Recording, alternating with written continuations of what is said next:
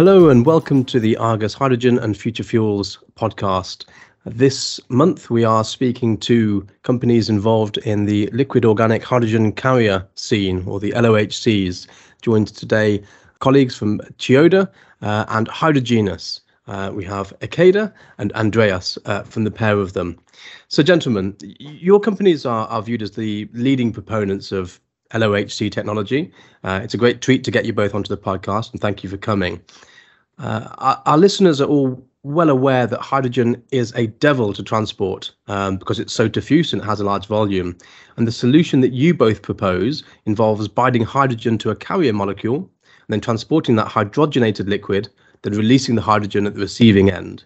And the carrier chemical then gets back, sent back again to the source for rehydrogenation before returning once again for dehydrogenation in an ongoing loop. So neither of you are alone. Uh, your, your companies aren't alone in looking at this route. Could you give a, a brief overview of the carrier that you're using and the level of technology readiness that you sit at? And I'll ask you first, uh, Ikeda-san. Yeah, thank you. LOHCs are able to storage and transport hydrogen under ambient conditions. And also it is easily and safely and economically handle hydrogen at liquid phase by using uh, existing oil and chemical infrastructure, such as tanks, lorry, tanker, pipeline, truck, etc. Successfully demonstrated global hydrogen supply chain by using uh, LOHC technology from Brunei Darussalam to Japan uh, in 2020. That was the world's first global supply chain project. And just recently, we also have successfully completed its global supply chain demonstration by using chemical uh, tankers. That means it is ready for the commercialization at scale. Excellent, thank you. So ready for commercialization. And uh, Andreas, could, could you tell us, yeah, where you sit at level of readiness uh, and the carrier that you're using as well? Yes, yeah, definitely. So um, the carrier we're using is called uh, benzyl toluene, which we have decided for because it's a it's a very uh, stable and available uh, chemical that is being used. And in terms of readiness, um, I think uh, quite comparable to the colleagues, we are really looking at the industrial scale up. So we have multiple systems in the field uh, already currently. Um, one of our most recent projects is a hydrogen refueling station together with our partner H2 Mobility that is uh, serviced with LOHC. So we can use uh, the infrastructure of fossil fuel transport for our LOHC, and then we can um, provide that hydrogen refueling station with green hydrogen. Uh, and the, the method of delivery is uh, our LOHC, and it's a commercial station where you can already today buy green hydrogen in the heart of Germany. And uh, quite similar um, uh, to the colleagues, we are looking to scale up to multiple tons per day systems where you really have massive industrial scale um, and to, to scale up even further. So our next project uh, in that field is coming uh, next year, where we are talking about five tons of hydrogen per day that are being stored, and that really shows that the technology is ready for industrial uh, application. Perfect. So when when when the hydrogen economy was in its infancy or in the early days, um, there was a lot of talk about um, LOHCs. Um, more recently, the public conversation has veered towards uh, ammonia as a vector, and there are instances of um, LOHC support uh, as well as liquid hydrogen as well. But but predominantly the conversation tends to veer towards uh, ammonia at the moment. Can you can you tell me a little bit about the projects that you're both involved in? Because we, we haven't heard so much about the LOHCs in recent years, uh, or, or, recent months, I should say, probably um, the last 12 to 18. Um, Ikeda, could, could you tell us a little bit about what Chiyoda's involved with projects today? Ah, okay. And uh, as a LOHC project, so we focus to establish a global health supply chain at scale for both Asia and Europe. So in mm. Asia, uh, we have two focus uh, hydrogen demand center. One is Japan and one is uh, Singapore. So we participate in the several projects in Japan and try to establish global supply chain to import hydrogen from overseas to Japan. Uh, Chubu is the name of the region, and uh, uh, they have the largest industrial zone in Japan. So we participated to its hydrogen demand consortium to support to establish global hydrogen supply chain in these regions. And in Singapore, so our relation has been started in 2020 uh, when we conclude the MOU with five Singaporean partners And just recently, recently uh, we have concluded MOU with Singaporean key utility player Sembcorp, together with the Mitsubishi Corporation, to start a pre-FEED study toward the commercial operation start in 2026. Europe, so we have concluded MOU with Port of Rotterdam and Koole Terminal in last year to do the uh, joint study for importing hydrogen to European market by using LHCMCH technologies. And now we are under uh, shaping the project to identify the specific hydrogen off-takers in Europe and also the uh, supplier in global. So we are also doing several other projects uh, that is today it is difficult to uh, disclose, but the uh, soon we we, we will uh, release. So uh, please wait for our upcoming update. Yes. What, what about yourself, Andreas? Can you tell us a little bit about projects that uh, Hydrogenious is involved in today or getting involved in? Uh, yes, of course. Um, I mean, quite similar. You notice that that ports uh, are, of course, uh, playing a good role. So we are in contact with the with the European ports, also uh, in the Middle East. Um, we have just um, well um, sent out an MOU together with the Port of Amsterdam, uh, which is very interesting um, actually to develop projects in Amsterdam uh, because maybe also connecting back to, to the original question, why is ammonia in the focus and and not other things? And mm. there it's very interesting uh, if you talk about Amsterdam, they have banned ammonia in the port area because it is so unsafe. And I think that is a, a factor um, that is overlooked um, oftentimes currently that um, that the safety of ammonia of ammonia is, is quite a high concern. So uh, it is very interesting that Amsterdam has banned it completely and is purely focusing on LOHCs as an import vector uh, for hydrogen. And, and that's to do with the the population density surrounding the port as well, isn't it? Yes, that is correct. So the the, the, primary reason. there something goes wrong in the port area, uh, then you immediately have people's lives in danger that are in close vicinity uh, of the port area. While of course in other areas where you have industrial settings and can safely handle the ammonia, uh, the concern is is of course less. Um, and hmm. I mean ammonia is being handled today, but I think what we have to see is the large amounts of ammonia um, that would have to be transported uh, to to have it as an as a hydrogen vector uh, is a different a different magnitude than what ammonia handling looks like today. Yeah. Another thing that we are looking at as Hydrogenious is a project from uh, from the Middle East where we are together together with ADNOC, with JERA, and uh, with Uniper, uh, a German utility company.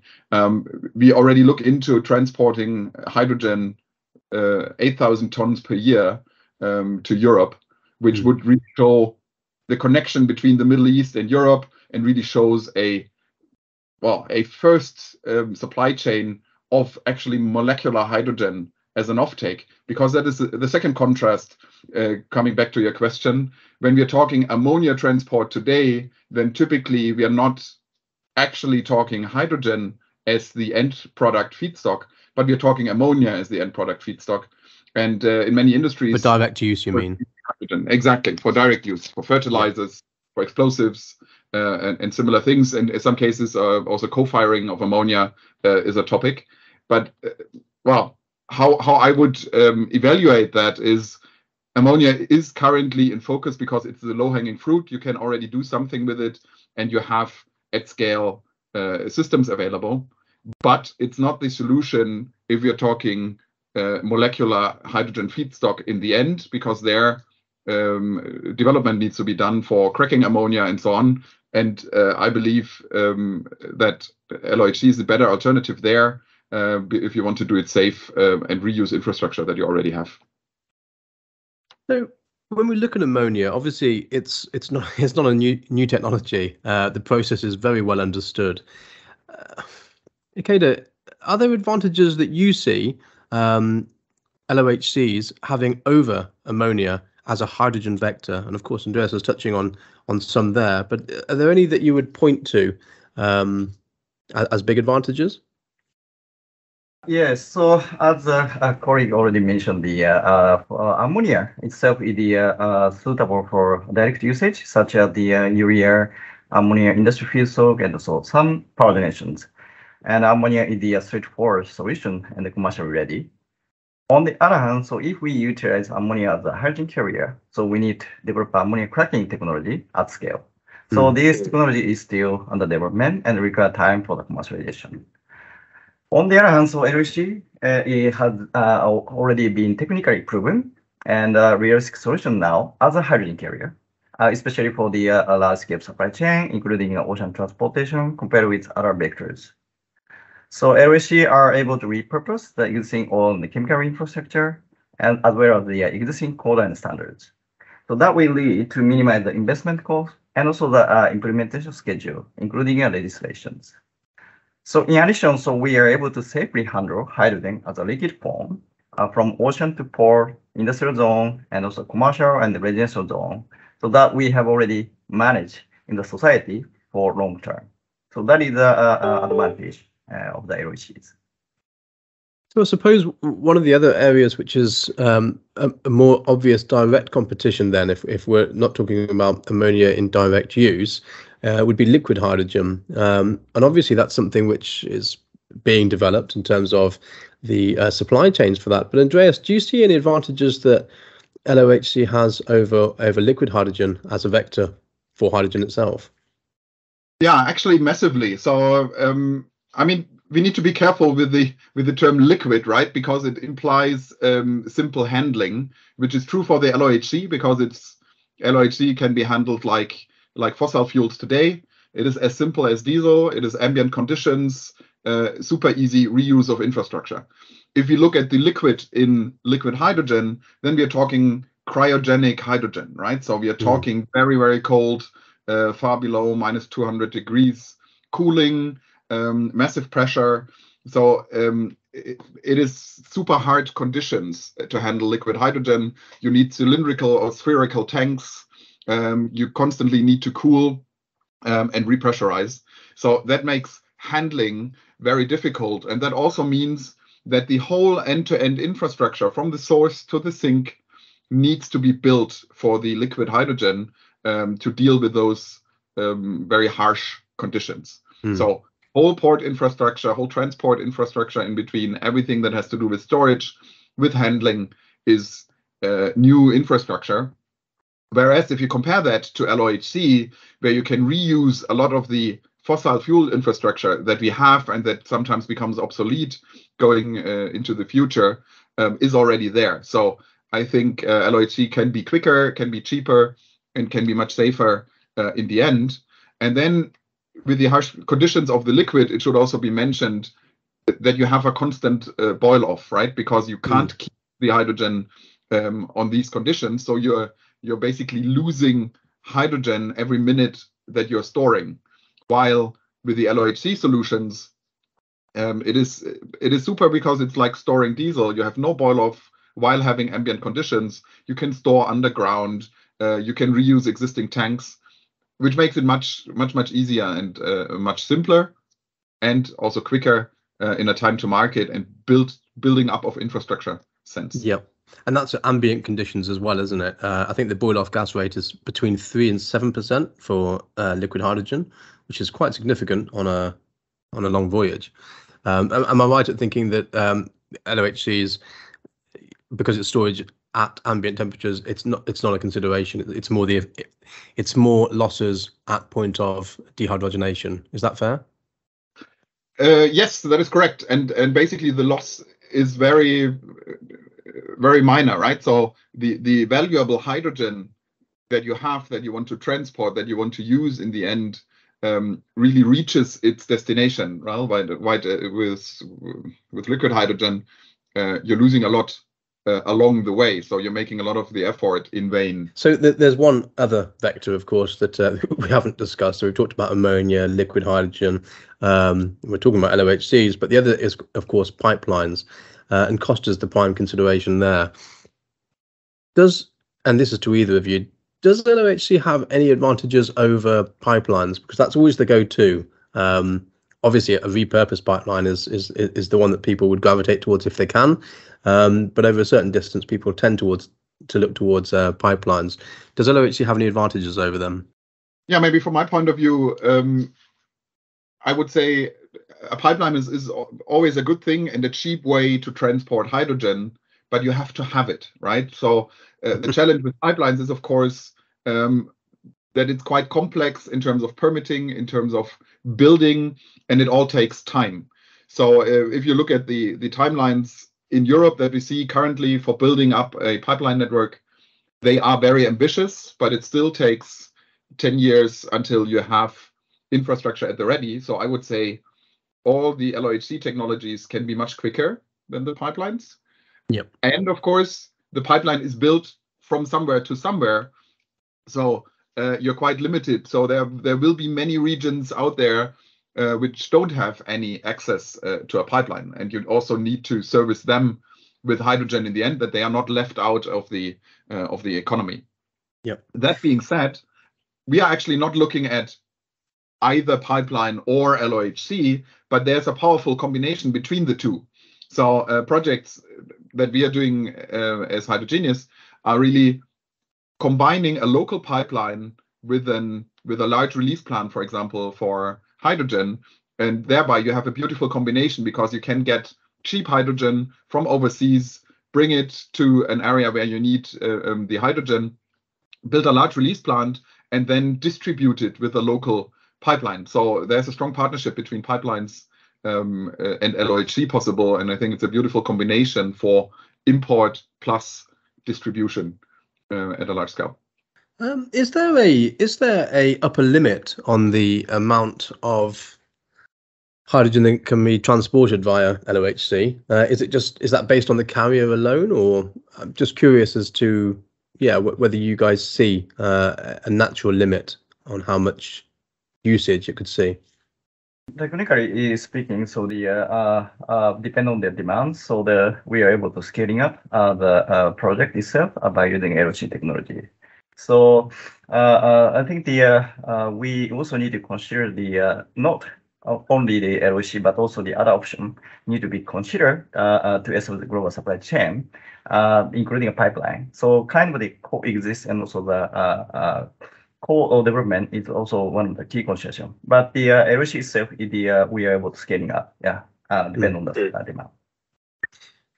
I saw uh, there was there was a, a point made earlier about you're transporting the the valuable hydrogen, obviously, uh, in the LOHC.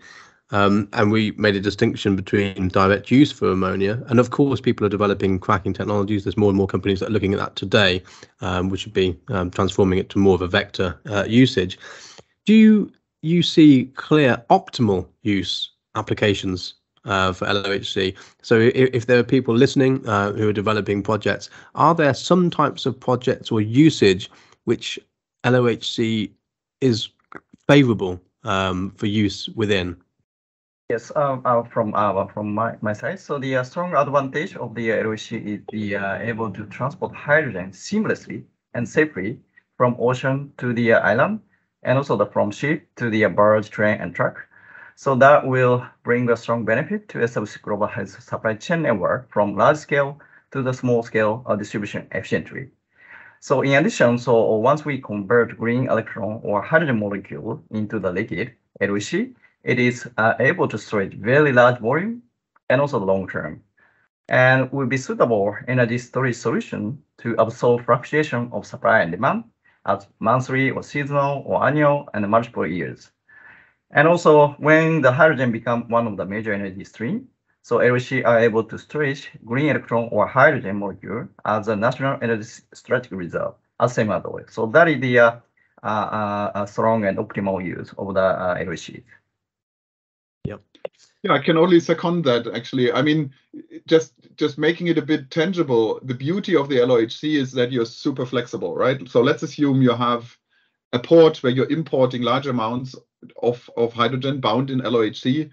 You basically have a choice, right? You can release it in the port area. You can very easily reuse fossil fuel infrastructure to transport it wherever it's needed. You can reuse your tanker truck. You can use river barges. You can use train containers uh, so you're very flexible to bring it wherever it's needed. You can combine it with local pipelines, and it's all at the cost of fossil fuel transport today, which is super cheap, super easy, and with assets that are already uh, there. So uh, I think that is the the beautiful combination that you're very flexible and you can cater to so many different use cases um, with simple permitting and with uh, safe properties. Yes. So the the, the storage and the the safety are key. What would you say USPs? Is it a network effect game? Um, this because obviously everyone's talking different vectors, different methodologies of moving things. Does one win out? Is it a Betamax versus VHS type situation, or is there is there space for all carriers to be able to do something um, in, in a market of this size that we're discussing? I think it's not only the size of the market um, there. I, I, think that also warrants that there's different technologies, right? We need to build up that infrastructure and we need to decarbonize, and the demand is is massive. So that alone warrants uh, various carrier technologies. But also apart from that, I mean, if I look at look at today's energy infrastructure, also there we have different means of energy carriers, right? We have gas, we have oil, we have even uh, different diesel, um, uh, gasoline, and so on. And the reason for that is because they all have their own advantages and their their niches or fields of application where they excel over others. So um, I think those both factors will lead to having a mix of technologies in the end, um, where where different technologies have their cost advantage, their handling advantage, their safety advantage, whatever um, is warranted by the use case you have. And on top of that, you have a massive market that really allows uh, various players, various solutions uh, to excel uh, in their own fields. So hydrogen by weight tops out at about 7%, I believe. So that's a lot of carrier being transported rather than hydrogen itself. So I, I guess that makes it hard to address shipping as a cost component because in the end everyone's looking at the cost uh, of of of the method of of carriage. Does that mean that you're both focused on on cost reduction efforts at both ends of the process? Because there's not much to be done in the middle I, I think. Is it is it really the hydrogenation and dehydrogenation ends that you're looking to gain efficiencies in? Uh, and if so are you making strides in those areas? Even though hydrogen by weight is around six or seven percent so volume base is uh, 1 by 500, and uh, it is able to stretch as liquid form under ambient conditions. And also are able to utilize existing commercial infrastructure for vessel and tanks. So that is able to minimize the cost of the transportation. And uh, for the evaluation of the cost, so it is also important to consider the cost through the value chain from upstream to downstream. So most cost-intensive part in LOC is the heat for the dehydration. So we are trying to optimize the heat to integrate from hydrogen users applications such as gas turbine, fuel cell, and the industrial process that will lead to optimize the cost. If electricity price is reasonable, so electrical heating is also be uh, one of the options. And for upstream, so hydrogen is an exothermic reaction, so that will generate the heat so if we are able to utilize and add, add value on this heat, so this will also another option to opt optimize the cost. And in future, uh, uh, hydrogen production technology and hydrogenation process will be integrated as one process, such as direct MCH synthesis technology that is directly produce MCH from a green electron. And that is able to reduce cost drastically as well as the downstream applications. So LOC is uh, based on the chemical reaction that produce much more room to optimize the efficiency and the cost by process integration. So that is the uh, uh much more uh, uh, benefit for the futures. Hmm. So I suppose a part of that then would be, I think you've answered a bit of that. A, a large component or cost component is going to be the, the dehydrogenation at the receiving end. Is there potential to actually avoid the dehydrogenation side of things? Various ways, right? So um, for for our carrier, for example, there exists a, a direct um, LOHC fuel cell, right? So you you put in LOHC in a fuel cell and you get out electricity and and unloaded uh, benzyl toluene. Uh, that is something that works in theory and in general has a technology readiness level of three to four, but in the long term, uh, that can be a solution, right, to directly mm. do that. And then, as uh, uh, Osamu-san uh, uh, described, of course, if you have a heat source available, like a gas turbine, like steel making, and so on, on the release side, then you you get that heat for free, right? So uh, this way, of course, you you reduce it uh, completely in the end. And of course, there are, there are various technologies and, and various ideas of how to further reduce the heat demand um, in the release in the on the release side um, to really uh, get rid of those needs. Uh, some of them include, uh, for example, oxidizing the carrier uh, and then getting that heat for free and have to um, have to put in more hydrogen on the storage side. So there's various ways to do it, um, but I, I, think we need to be, be fair and open of saying um, there is still a lot that can be developed in a field of LOHC compared to a field of ammonia that you have around for 130 years. Yes, yes. So, so there's two methods you're talking about. Really, a co-location with sources of uh, industrial heat um, for the dehydrogenation process, and direct use, of course. Um, so both promising, promising ways to look at things. And obviously, the modelling that's taken place to date has obviously been on uh, on the full chain. Um, you know, hydrogenation, carriage, dehydrogenation. Um, but with that being such a large cost component, the dehydrogenation, that has, both of those options hold the potential to change the economics quite substantially, doesn't it? Uh, yes, of course. So uh, I didn't not, not say the uh, LOHC are only option uh, for large scale, but the uh, LOHC are able to play an important role uh, to establish global supply chain at scale.